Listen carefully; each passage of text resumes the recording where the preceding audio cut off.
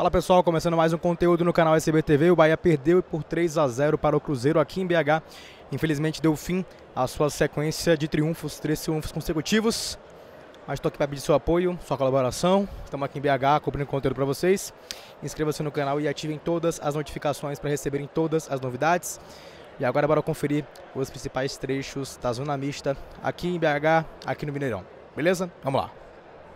Detalhe para a imagem de Cauli. Cauli que ficou à beira do gramado reclamando, inclusive, após a marcação, se não me engano, do segundo gol da equipe do Cruzeiro e acabou recebendo o terceiro cartão amarelo. Vamos complementar mais informações para vocês, mas o Cauli tomou o terceiro cartão. Camilo Cândido entra na lista dos pendurados, né? Tomou o segundo cartão em sequência nesse jogo de hoje, então está pendurado para a partida contra o Palmeiras, mas sim, ele joga, tá, gente? Só para poder informar vocês em relação ao Camilo Cândido. Estou aqui com o Vitor Hugo. Boa noite, Vitor. Derrota hoje foi prejudicial, mas sua presença aqui é interessante né, de falar. Não foi nem relacionada para as partidas, mas está com a delegação. Por que isso? A decisão foi sua? Como é que foi a conversa com o Rogério Senna e com a comissão técnica? Ah, a gente sai daqui hoje bem, bem chateado né, pelo resultado do jogo. Boa noite, desculpa, boa noite a todos aí. É, mas foi, foi uma decisão em conjunto, tanto minha quanto dele. A gente conversou. Ele disse que queria me ter perto do grupo para eu ir trabalhando com, com os companheiros para assim que possível poder estar à disposição. E eu também estava com esse pensamento, também eu já ia falar com ele para isso acontecer.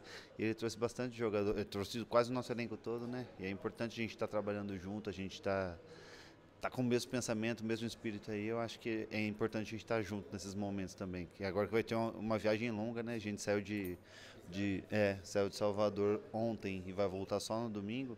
É uma viagem longa e é bom o elenco estar tá junto e estar tá nos momentos bons, tanto nos momentos bons como a gente vinha tendo, como hoje no momento difícil, é bom a gente estar junto para mostrar a força do grupo, né? E a partir de amanhã já, já trabalhar focado no, no próximo jogo aí no sábado contra o Palmeiras. Ah, tô me recuperando bem, cara. Já tá fechando bem, cicatrizando bem. Espero estar à disposição o mais rápido possível. Bom retorno aí.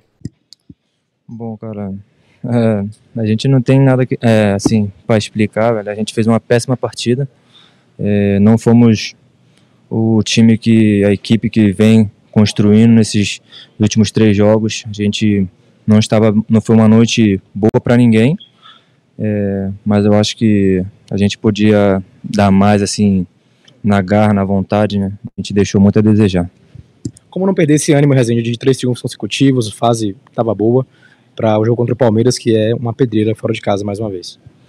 Bom, cara, a gente não pode abaixar a guarda, né? É, a gente só tem, no brasileiro só tem jogo difícil e no, a gente já provou que nem sempre o, o time preferido ganha, então eu acho que a gente tem que botar os pés no chão. É, não é porque a gente ganhou as três que a gente era o melhor, e não é porque a gente perdeu hoje também que a gente é o pior. Eu acho que a gente tem que botar a cabeça no lugar, ter confiança no outro, não segurar a mão de, de cada um e juntos que a gente pode dar mais. Resende eram duas partidas seguidas sem sofrer gols, hoje levamos três. Por que dessa queda do sistema defensivo como um todo? Bom, cara, como eu já falei, hoje não foi uma noite boa para ninguém. É, eu acho que nosso sistema defensivo, nossa pressão começa dos atacantes e vai até o, o goleiro. Eu acho que a gente não conseguiu encaixar, é, mas sem culpar ninguém, é, todo mundo junto. Quando erra, erra todo mundo e quando acerta, acerta todo mundo. Acho que agora tem que manter isso.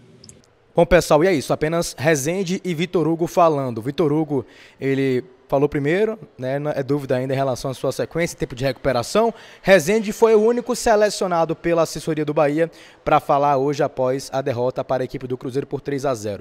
Bahia vinha de dois jogos sem sofrer gols e sofreu três, né? Dois jogos consecutivos contra a Inter e contra a Fortaleza. E o Bahia foi lá e tomou três gols só numa partida em falhas individuais. O Bahia que foi totalmente ineficaz hoje contra a equipe do Cruzeiro aqui em BH, aqui em Belo Horizonte. Bahia treina amanhã no CT do Atlético Mineiro, às 10 horas da manhã, e pela tarde dará sequência à sua viagem, à sua locomoção para São Paulo, onde irá enfrentar o Palmeiras no sábado, às 19 horas, no Allianz. Palmeiras que enfrentou o São Paulo e aplicou um 5 a 0 só para vocês terem noção, esse é o nosso próximo adversário. Não tem jogo fácil.